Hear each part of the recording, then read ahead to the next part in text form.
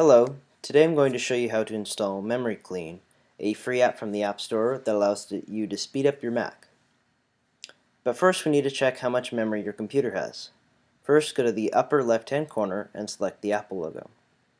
From there select About this Mac and here you'll be given a, a window that has everything about your Mac.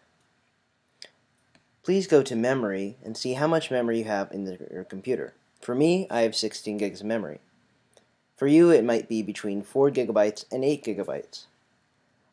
I recommend 8 gigabytes, and if you have 4 gigabytes or less, please have it looked at and upgraded because macOS Sierra and any other future software will need more memory, and it's faster too.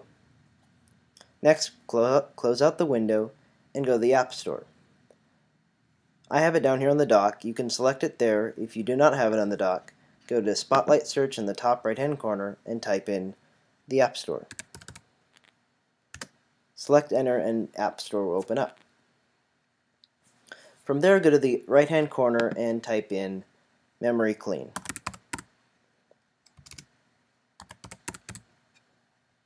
You don't even have to finish typing and it'll show up right here. Memory Clean 2 is the latest one at the time of this recording. Select it and it'll be presented right here. It looks just like this. For you, it will say Get. Now, once you hit Get, you may be prompted to sign in with your Apple ID if you haven't done so before. Do this and you'll be able to download it. For me, since I've already downloaded this and I already have it on all my other computers, I just hit Install. What it does next is it goes right down into the Rocket Dock Launchpad and begins installing. If you do not know your Apple ID and you have an iPhone, just use that same ID. Doesn't matter if it's the school's uh, computer, you can still use your Apple ID just fine. Next, what you're going to do after it installs, you can select Open. And then you can close out the App Store. From there, you can select uh, the memory clean from the top taskbar of your computer, and you'll be given this similar window looking like this. Next, go to the settings here in the right hand corner and hit Preferences. In the Preferences window, you will see different options, and make sure they're similar and just like this. So, Start at Login is checked On, Hide Window at Startup is on, and Hide Unlock Extreme button is on.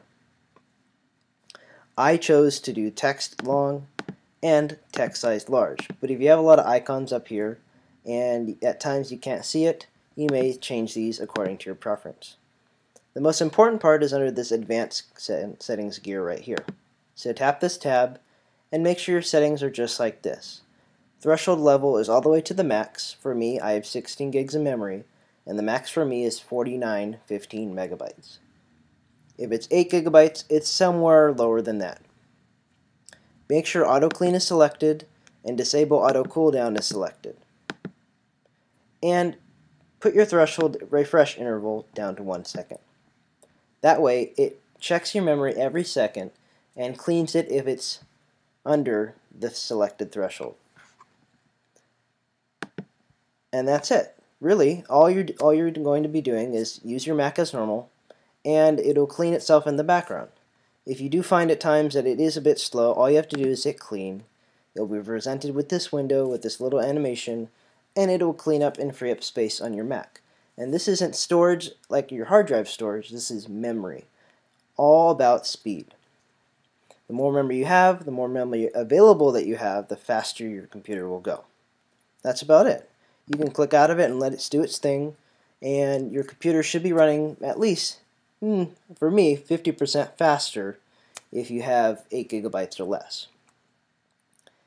I hope you enjoyed this tutorial, and I hope you get um, the proper information from this and um, hopefully you can do it yourself. If you need help, please contact me or Jovan and we'd be happy to help.